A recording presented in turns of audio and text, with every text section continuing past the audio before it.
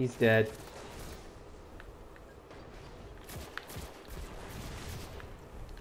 What? What happened? Did I kill Fallen Shadow? I did? Are you sure? Alright,